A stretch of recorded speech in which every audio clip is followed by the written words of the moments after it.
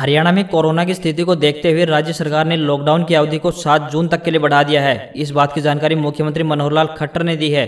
दुकानदार पहले 7 बजे से लेकर 12 बजे तक दुकान खोलते थे, लेकिन अब इस समय में बदलाव करते हुए 9 से 3 बजे तक का कर दिया है। ऑडिवन फार्मूला अगले और एक सप्ताह लागू रहेगा। इसके साथ ही प्रदेश के सभी आंगनबाड़ी केंद्र तीस जून तक बंद रहेंगे। सीमित संख्या के साथ मॉल्स को भी खोलने की सरकार ने इजाज़त दे दी है। खट्टर सरकार ने बता दें कि अभी अभी एक कॉन्फ्रेंस की है, जिसकी मुख्य बातें हम आपको बता रहे हैं। सीएम ने कहा है कि बहुत से पत्रकार हमें छोड़कर चले गए हैं, कोरोना से सावधानी बरतें। सीएम ने यह भी कहा कि प्रदेश में कोरोना का ग्राफ लगातार कम हो रहा है। हम बुरे वक्त के लिए तैयार हैं। सीएम मनोहर लाल ने कहा कि इस महामारी को कोई भरोसा नहीं है। कुछ लोग तीसरी वेव, यानी थर्ड वेव की भी बात कर रहे हैं। सीएम ने यह भी कहा कि ब्लैक फंगस की बीमारी से संबंधित दवाइयों को ऑर्डर दिए जा रहे हैं। सीएम के अनुसार हरियाणा सरकार भी अब कोरोना काल में अनाथ हुए बच्चों को 18 साल के होने तक हर महीने आर्थिक सहायता प्रदान करेगी। मुख्यमंत्री बाल सेवा योजना के तहत इस तरह के बच्चों की मदद की जाएगी। सीएम ने बताया कि अनाथ छात्राएँ कस्तूरबा विद्यालय में एडमिशन ले सकती हैं, जहाँ उन्हें फ्री में शिक्षा दी जाएगी। सीएम ने प्रेस कॉन्फ्रेंस में बताया कि शादी के समय देने वाली राशि अभी से किशोरी बालिकाओं के खाते में डाली जाएगी।